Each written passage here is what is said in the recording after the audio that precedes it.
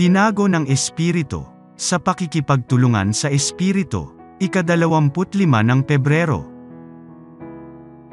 Kaya nga, mga minamahal ko, kung paanong lagi ninyo akong sinusunod, hindi lamang sa harapan ko, kundi higit ngayon na ako'y hindi ninyo kasama, ay isagawa ninyo ang inyong sariling kaligtasan na may takot at panginginig.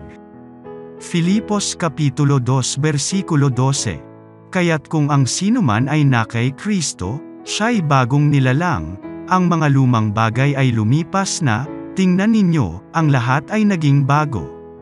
Ikalawang Korinto Kapitulo 5 Versikulo 17 Wala nang iba kundi ang banal na kapangyarihan lamang ang muling makabubuhay sa puso ng tao at pumuspos sa mga kaluluwa ng pag-ibig ni Kristo, na laging ihahayag ang sarili nito sa pagmamahal para sa mga pinagbuwisan niya ng buhay.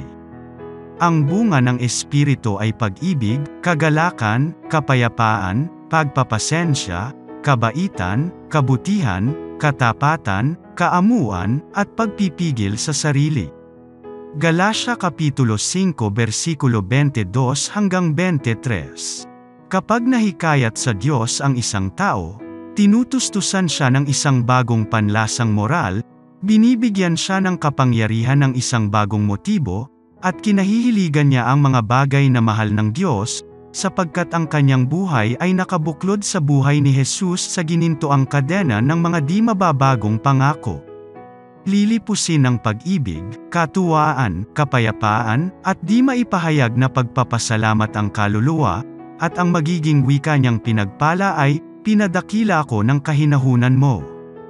Awit Kapitulo 18 Versikulo 35 Ngunit mabibigo yung mga naghihintay na makakita ng mahikal na pagbabago sa kanilang mga karakter kahit wala silang desididong pagsisikap na mapagtagumpayan ang kasalanan.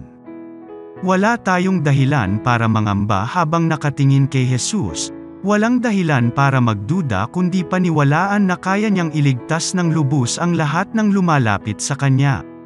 Hebreo Kapitulo 7 Versikulo 25 Pero pwede tayong laging mangamba na baka muli na namang maghari ang ating dating likas, na baka makagawa ang kaaway ng kung anong bitag na muling bibihag sa atin. Dapat nating isagawa ang sarili nating kaligtasan ng may takot at panginginig, sapagkat ang Diyos ang gumagawa sa inyo, parehong sa pagnanais at sa paggawa ng mabuti niyang kalooban. Filipos Kapitulo 2 Versikulo 12 hanggang 13 Sa limitado nating kapangyarihan dapat tayong maging banal sa ating saklaw kung paanong banal ang Diyos sa kanyang saklaw. Sa abot ng ating makakaya, dapat nating ipakita ang katotohanan at pag-ibig at kahusayan ng karakter ng Diyos. Kung paanong tinatanggap ng wakas ang impresyon ng selyo, gayon din dapat tanggapin ng kaluluwa ang impresyon ng Espiritu ng Diyos at panatilihin ang larawan ni Kristo. Dapat tayong lumago araw-araw sa espiritual na kagandahan. Madalas tayong mabibigo sa mga pagsisikap nating tularan ang banal na huwaran. Madalas tayong kailangang yumuko at lumuha sa paanan ni Jesus, dahil sa ating mga pagkukulang at pagkakamali. Pero hindi dapat tayo masiraan ng loob. Kailangan nating manalangin ng mas maalab, manampalataya ng mas lubusan, at muling sumubok ng may higit na katatagang lumago tungo sa pagiging katulad ng ating Panginoon. Binago ng Espiritu, sa pakikipagtulungan sa Espiritu, ikadalawamput lima ng Pebrero, kaya nga, mga minamahal ko, kung paanong lagi ninyo akong sinusunod, hindi lamang sa harapan ko, kundi higit ngayon na ako'y hindi ninyo kasama, ay isagawa ninyo ang inyong sariling kaligtasan na may takot at panginginig. Filipos Kapitulo 2 Versikulo 12 Kaya't kung ang sinuman ay na kay Kristo, siya'y bagong nilalang, ang mga lumang bagay ay lumipas na, tingnan ninyo, ang lahat ay naging bago.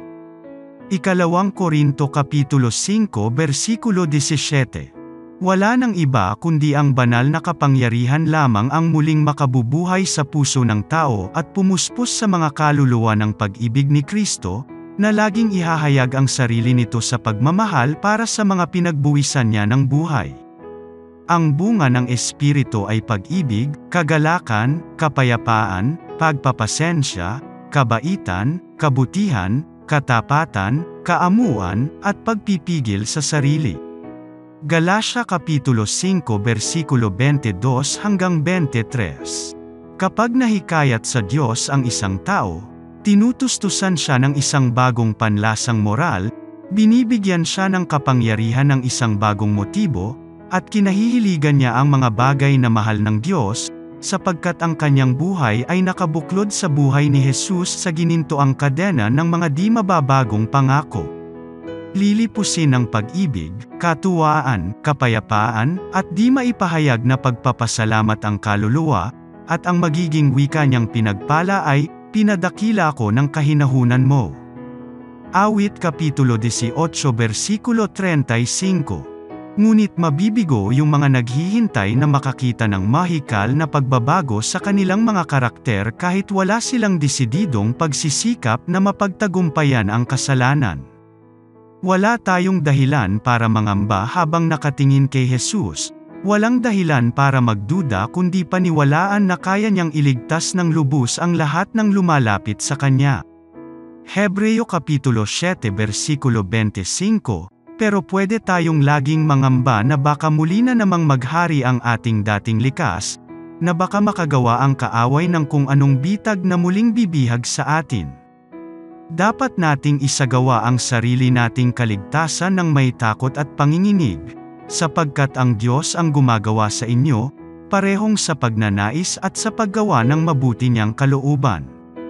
Filipos Kapitulo 2 Versikulo 12 hanggang 13 Sa limitado nating kapangyarihan dapat tayong maging banal sa ating saklaw kung paanong banal ang Diyos sa kanyang saklaw. Sa abot ng ating makakaya, dapat nating ipakita ang katotohanan at pag-ibig at kahusayan ng karakter ng Diyos. Kung paanong tinatanggap ng wakas ang impresyon ng selyo, gayon din dapat tanggapin ng kaluluwa ang impresyon ng Espiritu ng Diyos at panatilihin ang larawan ni Kristo. Dapat tayong lumago araw-araw sa espiritual na kagandahan. Madalas tayong mabibigo sa mga pagsisikap nating tularan ang banal na huwaran. Madalas tayong kailangang yumuko at lumuha sa paanan ni Jesus, dahil sa ating mga pagkukulang at pagkakamali. Pero hindi dapat tayo masiraan ng loob. Kailangan nating manalangin ng mas maalab, manampalataya ng mas lubusan, at muling sumubok ng may higit na katatagang lumago tungo sa pagiging katulad ng ating Panginoon.